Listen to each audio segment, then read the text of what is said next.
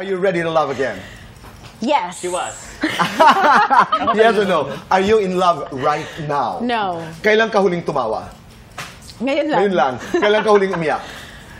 Kahapon. Last message you received from a guy. Oh Ah, kanina. May nagiya. At ang lumabas. sabi? Um, are you free on the... Tit, tit, tit. Uh, okay. At ang sagot? Hindi. Lights on or lights off?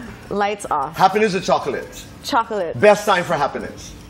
No time right now. Complete the sentence. I've finally learned that that I should love myself Oh. first. Okay. I know we have Listen, guys, my guardian alien, but we have two minutes. What is love? If you have to give an advice, uh, are you ready to love again? Go ahead. Love is everything. Love is supposed to be shared. It must be It shared. must be shared. Love is unconditional. It is That's it. That's what I believe. Talaga? Love is unconditional. I feel like that's true love is unconditional. But you're ready to because fall- you're giving and you're not you're you're not expecting to receive. That's what I But believe. that's hard. It's very Hard. hard. That's It's why very, it's lalo na hard. sa romantic relationship, but it is possible. It is possible. Diba? Yeah.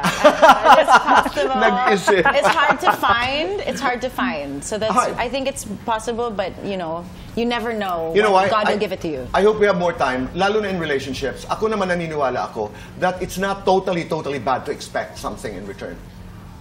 I'm not there yet. Uh, yeah, I know. But do, do, do you see the point?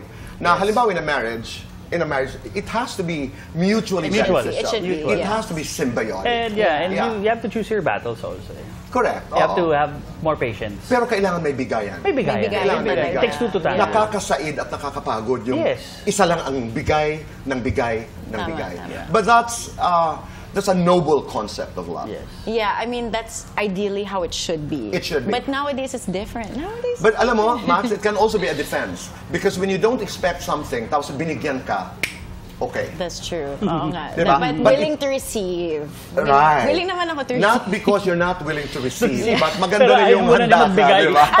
Ayaw mo And- na magbigay. And because Ayaw of that, na you have magbigay. flowers. Oh my gosh, thank Ayan, you. receive, so tamo. sweet. Receive. Oh, sige, I uh-huh. receive. Receive. accept. Thank no, but you. remember that, di ba? Yeah. It- it's good to receive also. It is, it Oo, ah, kung ano man yun. But please invite everybody to my guardian alien. Guys, Yes. malapit na po My Guardian Alien, April, April 1. 1, yeah. um, finally, mapapanood nyo na yung matagal naming pinaghirapan. Yes. Diba?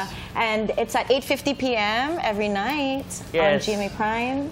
Yes, uh, directed by Zig Dulay. Of course, pagbabalik prime time ni Miss Marian Miss Rivera. Marian Yeah. Rivera. Of course, with art, may tukayo, Gabi Concepcion. Kaya pag uh, manood kayo, mapapanood nyo gabi-gabi. Gabi-gabi.